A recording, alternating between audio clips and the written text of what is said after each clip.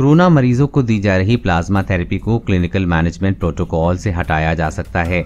कई मामलों में ये थेरेपी कारगर नहीं रही है। Indian council of medical research की नेशनल टास्क फोर्स की शुक्रवार को ही बैठक में इस पर चर्चा हुई थी। सूत्रों के मुताबिक इस मामले पर जल्द ही आखिरी फैसला लिया जाएगा। आईसीएमआर इस मामले पर एडवाइजरी जारी कर सकती है। देश में कोरोना के बढ़ते मामलों के साथ प्लाज्मा डोनर की मांग भी तेज़ी से आई है।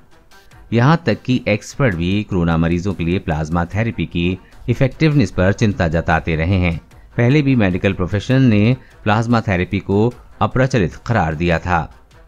खूब तलाशे जा रहे हैं प्लाज्मा डोनर।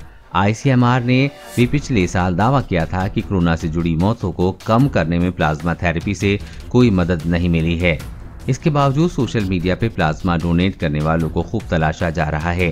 दिल्ली के मुख्यमंत्री अरविंद केजरीवाल खुद लोगों से कह रहे हैं कि कोरोना से रिकवर हो चुके लोगों को प्लाज्मा डोनेट करना चाहिए ताकि ज़्यादा से ज़्यादा लोगों की जान बचाई जा सके।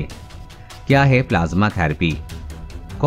Convalescent plasma therapy एक ऐसी प्रक्रिया है जिसमें इन्फेक्शन से रिकवर हुए व्यक्ति के शरीर से खून लिया जाता है।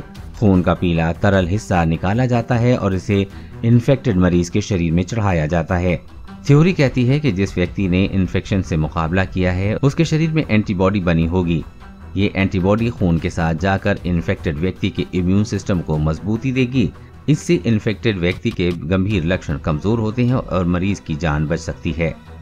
कोरोना वैक्सीन और लॉकडाउन से जुड़ी हर खबर सबसे पहले पाने के लिए चैनल को सब्सक्राइब करें और अपने दोस्तों के साथ शेयर करना न भूलें।